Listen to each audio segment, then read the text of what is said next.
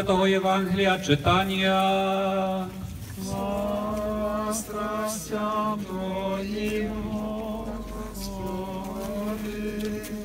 В той час при Христі Ісусовім стояв його мати, сестра його матері Марія Клеопова та Марія Магдалина.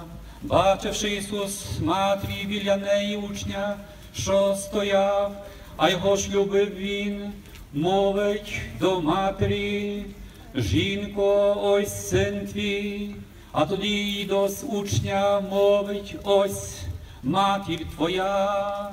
І від тієї хвилі учень взяв її до себе, а потому Ісус, знавши, що все вже довершилося, щоб здійснилось Писання, промовив, спрагую я, стояла ж посудина, сповнена Отцом, От і, по, і подав йому до уст на спромлену, на простину губку, присаку оцтом, і скоштувавши оцту, вимовив Ісус, звершилось, і схиливши голову, віддав духа.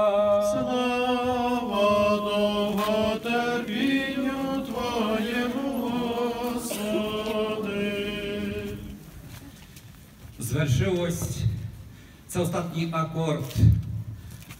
Потім сонце затри... затмартилося, але ось перед цією темрявою світла сцена. Ісус перед смертю звертає свій погляд на матері та улюбленого учня. Ми в церкві знаємо значення цього епізоду. Не лише Іван, а й усі люди в його особі отримали небесну матір. Були усиновлені Богородицею. Але що це конкретно означає для Івана? Учень взяв Марію до себе, опікувався, боронив перед звинуваченням та позуванням. Це ж по матері страченого злочинця. І він стає Ісусом братом і за юдейським звичаєм, як найближчий крев- кревний з родини відмовляє похоронний псалом. Коли нас у церкві називають братами і сестрами у Христі, то це не просто гарний поетичний зворот. Це не лише правильна богословська формула. З цього виникають конкретні зобов'язання підтримки, захисту, служіння. Бути братом Ісуса це ставиться до інших так, як до своїх рідних. Стати під Ісусовим Христом це радикальний крок. Бо таким чином вжеться з іншими людьми у замі кровної спородності. Ти до цього готовий?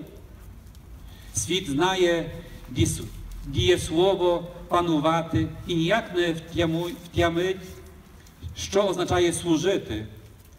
Усе європейська цивілізація стикнулась на потребі прийняти біженця і послужити йому. Справді, не просто прийняти людину іншої віри та інших звичаїв. І нас, українців, не раз травмувала зустріч з носіями незвичного і чужого. Проте в нинішній глобальності ми не, не бережемо свій дистильований світ.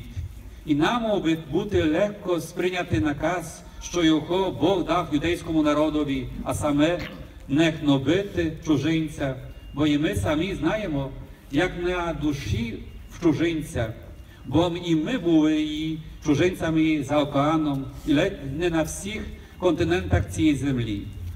Отож, плекаємо злагоду між людьми і народами. Тут багато залежить від молоді, яка швидше долає міжлюдські бар'єри. Згадаймо слова блаженнішого Любомира. Багато хто думає, що мир то відсутність війни, але мир є дещо більше.